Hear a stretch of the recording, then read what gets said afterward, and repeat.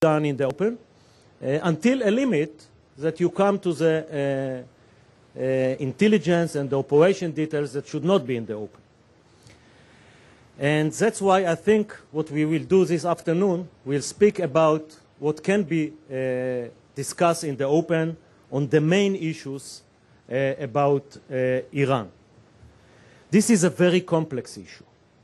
It is not whether A or B, or B, D or B, not at all. It is a complex issue and you need a framework to think about it. Can I move to, to Hebrew? כל דיון בסוגיית הגרעין האיראני חייב להיערך מתוך נקודת מוצא כי לא מדובר בעניין ישראלי בלבד. סוגיית הגרעין האיראני, שמענו את זה פה מפי השגריר, ושמענו את זה מפי הנשיא אובמה, היא אתגר אסטרטגי ביטחוני ומדיני לקהילה הבינלאומית כולה. ואני מציע שישראל לא תוביל את המערכה העולמית כנגד איראן, תישאר במדרון האחורי ולא תיקח עליה את האחריות be in the back door and not take full responsibility to prevent Iran from going nuclear. There are many intelligence questions that have to be clarified when we discuss nuclear Iran. We don't have time to go into all of them. And today we heard the ambassador um, Negroponte about what he said at the time, uh, the determination in 2005, and that the Iranians, that's very important, that the Iranians are going towards nuclear uh, weapon. Unfortunately, in 2007, the uh, uh NIE published um, an article against it, and since then it wasn't really amended. I suppose that there's some secret report, and I'm happy it didn't get to the internet, but the determination that Iran is developing or plans strategically to develop nuclear weapons is the basis of any discussions about Iran. And I think that anybody who determines that Iran, in fact, is uh, strategically intending to have nuclear weapons, and this is based not on some secret intelligence of the services, it's based on findings of an international agency, the IAEA, that for years they've been bringing all the breaches on the part of Iran and all the questions that Iranians don't have answers to, not to public discussions in Israel or in the United States, but to the Security Council of the UN. And the Iranians were uh, caught with their hands and their mouth does not fit to what they actually do. And that explains the fact that we can say quite determinedly that the goal of the Iranian nuclear plan is nuclear weapons. But we have to understand the Iranian strategy in order to understand why still there are people who argue that maybe Iran is not thinking of nuclear weapons because the Iranians are very sophisticated and they know very well all about strategy and they learned all the lessons of North Korea, Pakistan, Libya and Iraq and Syria. And therefore, they'll do their utmost under a legitimate cover because of the fact that they're signed on the NPT and they'll go ahead up to the last mile. And the last mile they're going to make when they'll think that strategically it's not the quickest possible, but it's the safest possible to break through to nuclear. And when they do that, they'll do it very shortly because if this evening the uh, Supreme leader will call the Iranians, the ones who manage the plan, say, guys, I want the bomb that we've been working on for decades. It's going to take them between a year if you estimate it in Tel Aviv and if you're out of the missile uh, uh, range in the CIA, maybe a year and a half. But it's a long time for the Iranians in any case. And therefore, we cannot be confused between the strategic understanding that Iran is going towards military nuclear and the fact that tactically they haven't made the last step yet. And Iran, under this strategy, uh, managed in the past decade to uh, advance in a very impressive way and in a low cost of what the world did against it, they're going towards their bomb. They passed all the technological thresholds. They have all the components. If it decides to make a bomb, and they can be with a nuclear bomb. And that's why it's important to understand that uh, there's no meaning to the question when will they have a bomb, 2012 or 2015. Iran is going to have a bomb the moment it makes a decision. Today, we're going to break out, plus the time it takes to break out itself, and this is very important when we try to see what kind of an agreement we reach with the Iranians.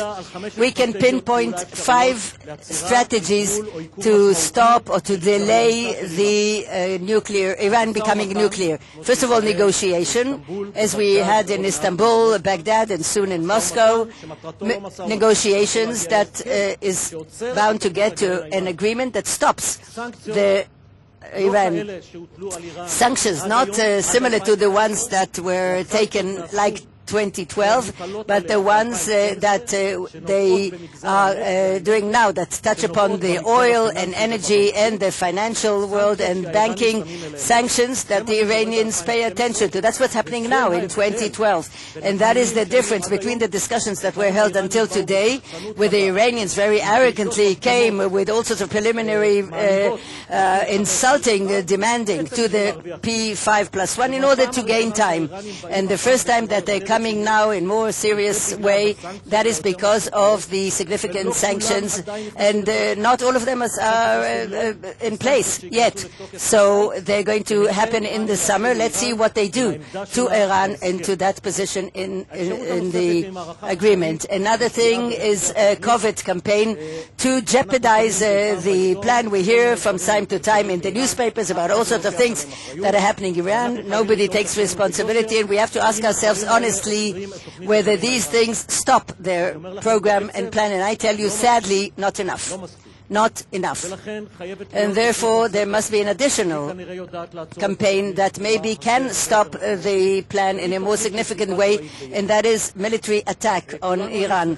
We would all be happy if this issue would be solved by change of regime. However, we know that the attempts to change regimes from the outside usually don't succeed in the last few years, definitely not vis-à-vis a country like Iran. And in that, we have to wait for it to happen bottom up. We, the intelligence people, we really have to be commended. A lot of a research institute in Washington uh, recommended it, and it's called Let's Live with Nuclear Iran, Military Iran. Let's contain and let's deter, like we did against the Soviet Union. These people, usually I'm asking, how do you think you're going to deter or to contain nuclear Iran when you don't succeed to do it vis-à-vis -vis Iran, which is not nuclear? I want to underscore that the five strategies to thwart the nuclear uh, Iranian plan are completing one another. They're not ex uh, uh, exclusive to one another, they support one another, and there's a lot of synergy between them. All the uh, combination between the strategies is uh, made of strategic and diplomatic aspects, uh, monitoring and technology, all sorts of cognitive steps, and of course military ones as well well. It's important to underscore that the team under me came to an unequivocal conclusion that without a, um, a military option, the strategy that uh, is taken today will succeed is very low. It is a paradox. Anybody who says in public, in Israel or abroad, that there's no military option or that the military option is dangerous and it uh, costs too much may bring about a situation that it will be the only option to stop Iran from becoming nuclear. And those who will contain, and I want to commend my friend, the former chief of staff, who prepared for IDF a credible military option. Those who prepared that option, maybe they won't need it, because without a credible military option, the reasonability of the world uh, uh, to do sanctions and to uh, the Iranians understanding that it's true, uh, it's a good idea to stop the nuclear plan is very, very um, unreasonable. The other possibility is to live with an Iranian bomb. We think that it is unstable and dangerous, as opposed to the arguments, as I said, that are heard especially in uh, research institutes in the States. The uh, terror balance uh, the, that was achieved between the United States and the Soviet Union is not going to happen in the Middle East. It's a completely different case. We're talking about a state which is led by religious extreme ideology and a religion that encouraged and invented the suicide bombing uh, system that calls uh, in public to the destruction of the state of Israel and deleting it from the map. And the connection of such an extreme system to nuclear weapons is very dangerous. I don't think that Iranians are going to launch the missile with the nuclear bomb a day after they had it, but there's great problems in the monitoring of the escalation and controlling the crises that derive from the fact that as opposed to the balance between the states and the Soviet Union, we don't have the uh, hotline that was between the Kremlin and the White House. We don't have the Iranian embassy like we had the Soviet embassy. And uh, Bobby Kennedy could have been sent, sent by his brother to calm down the missile uh, crisis in the ambassador's home. In between Israel and Iran, there's no communication whatsoever, and there's always a temptation for a first hit. The relative size of the countries puts this temptation, especially on the Iranian side. And the one who is today a moderate Iranian leader, Rafsanjani, he said in 2001 exactly the following argument that Israel is a country that is deleted with one bomb, whereas Islamic Iran can tolerate three or four bombs. The fact that there's so many multilateral uh, conflicts in the Middle East, and Iran is not going to stay the only nuclear uh, state. One day after, the Saudis are going to go somewhere in order to bring the nuclear bomb that they paid for already, and we heard it yesterday. Anybody who thinks that the Saudis are going to be remain without a nuclear bomb is mistaken, and the Turks and the Egyptians are going to be next in line. And anybody who finally uh, flew planes into towers in New York were not Iranians. You remember who they were, where they came from. That's why this leakage of uh, nuclear weapons to other countries and terror organizations is very dangerous. Any strategy that Israel uh, chooses to adopt in order to deal and cope with the Iranian nuclear, especially in terms of military means, will require meeting um, three conditions or three pillars that we need to look into uh, separately. First of all, the strategic necessity, and I pretty much explained why it exists, to explain why we see the prevention of a nuclear Iran, a strategic necessity, or need of Israel that is bigger and more important than the option to live with a nuclear Iran. Um, sorry that one of the channels in the, on the news, uh, the um, television, quoted me saying the other way around. No, I'm saying that the nuclear Iran will be is, is a greater problem than attacking Iran. And the second thing is to have the operational capabilities, and I am um, appreciative of the opportunity, of the abilities that we have to do so, and I will later on emphasize that. There should be legitimacy and uh, a reasonable extent of support of this action, and this action or operation can only come after every other uh, a possibility has been exhausted as a last resort.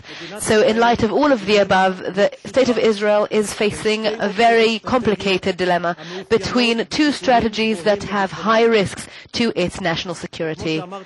And as I've said, and I will reiterate, the INSS team has reached the insight that uh, the price of an Iranian nuclear bomb is higher than the price of bombing Iran. And we also estimate that, uh, contrary to uh, the forecasts or the assessments in uh, elsewhere that an Iranian response or reaction is not as dangerous as it seems, and we believe that the threat the Iranians are giving is a very um, powerful deterrence tool, and the fact is it's working, but the Iranians do not have all the capabilities attributed to them, and they do not have the interest either uh, to uh, set the Middle East on fire, because the first ones to burn on that, in that fire are those who have a lot of gas and oil and are living off of it. So don't get me wrong, there will undoubtedly be an Iranian reaction, but I believe it will be um, in line with the Iranian interests, and it will follow the attack and not before it, and it will be measured, it will be moderate, and it will be for, in an extent that we can take um, vis-à-vis the uh, challenge of uh, facing a, an Iranian bomb. And I would like to talk about another argument, and that is that Iran will come into, maybe now, maybe a bit later, into this uh, area that will be the immunity zone, a zone of immunity, and that will dictate Israel's actions. And I don't want to go into too many details, but my team um, predicts that with all the ramifications of Iran going into this uh, zone of immunity, this should not be a leading parameter in terms of the considerations taken when thinking of, of attacking Iran. And so we should exhaust any other third reasonable alternative that is not an acceptance of having an Iranian bomb or attacking Iran. And the third alternative that will enable us to achieve the goal is to prevent Iran from having a military level of uh, nuclear. And we would like to exhaust, we we suggest that we exhaust these moves and the sanctions that have been imposed on Iran have been imposed and are being imposed sin, for the last uh,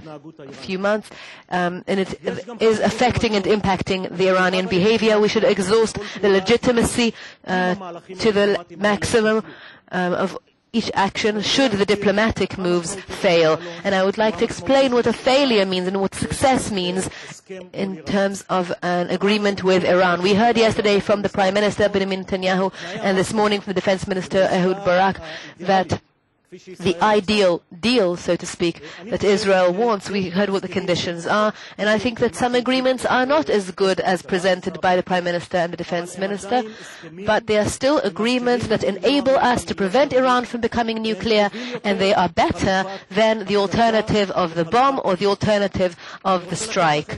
Um, and I want to give you these parameters so you also are aware of them. It is not um, the 20%, it's not stopping the 20% or taking them out of Iran. That's the 20% that Iran has already brought into the room in order to take it out.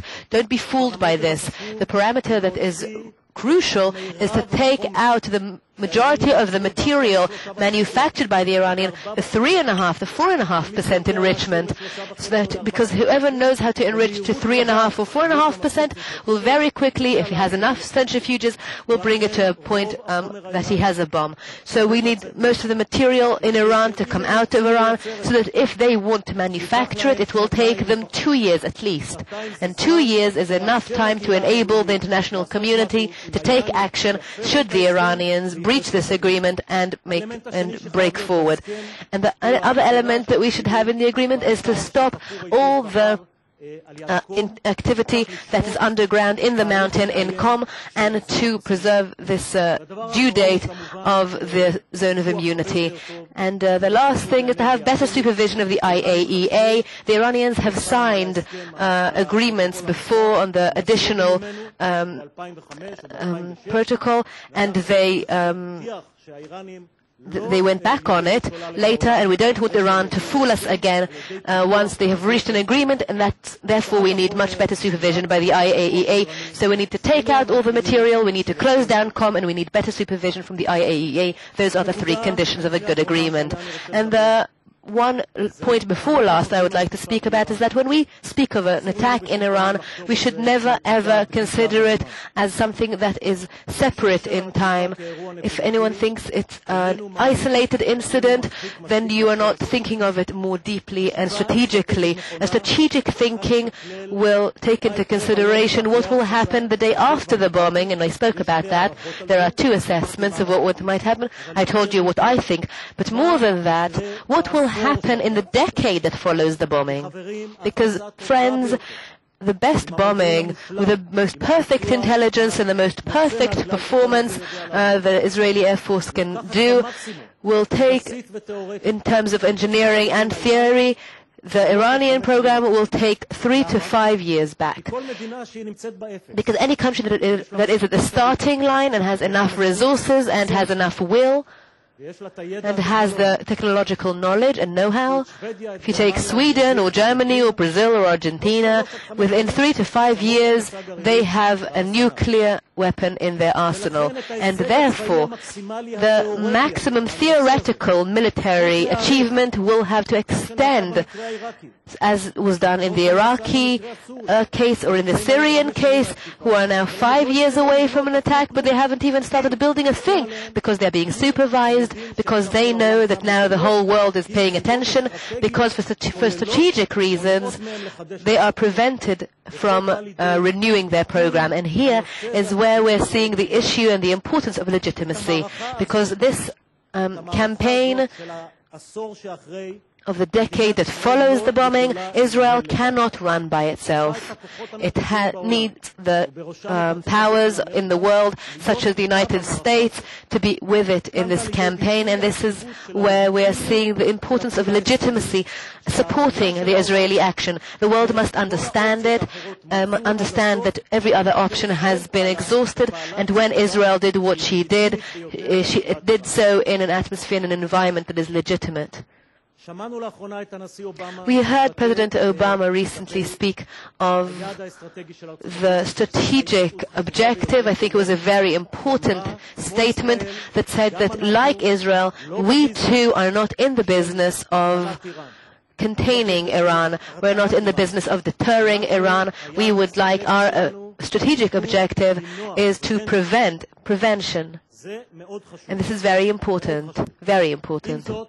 However, we must be aware and see that there is a great difference between the two countries as to what the red line is, where the prevention action should be carried out, when have all the other options become irrelevant, and what is the trigger for action. Because at the same time as the logic guiding Israel is not to allow Iran have the capabilities even to break forward, we uh, and that is why there is the zone of immunity, and that's why it's important.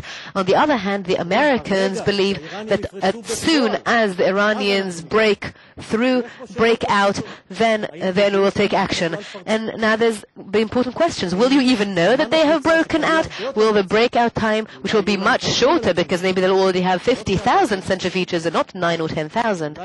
Maybe this timing will be so short that you will not be able to get together and have an operation ready. Maybe we will not have the political support ready. So we have a dialogue here that is very important. We also think that if the Americans are, were to take action ultimately, we recommend, although we in this business are being very humble, but we recommend that they not repeat the move of uh, taking over the country, of occupying it, um, taking and collapsing the um, regime and taking uh, care of all the surrounding um, actions. We'd have a surgical action on the facilities and the Iranian, and the Iranian facilities, and the Americans can do so. It's important that it be performed so that the Iranians can see that they have a lot more to lose in order to um, realign their assessment with mine rather than with others' assessments.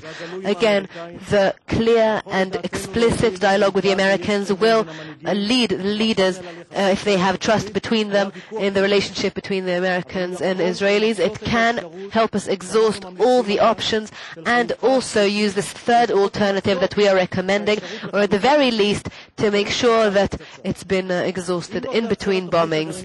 If the Iranian nuclear program is not stopped in some covert action or in any other strike or by diplomatic channels, we believe that the action with Iran will be uh, will receive legitimacy and support from the United States and the world on the following day and on the decade that follows. And I will end by saying that without having legitimacy that will enable an international campaign in the decade that follows the bombing, we may find ourselves choosing to strike and paying the price of it and then ending up with the bomb and all its prices. Thank you very much.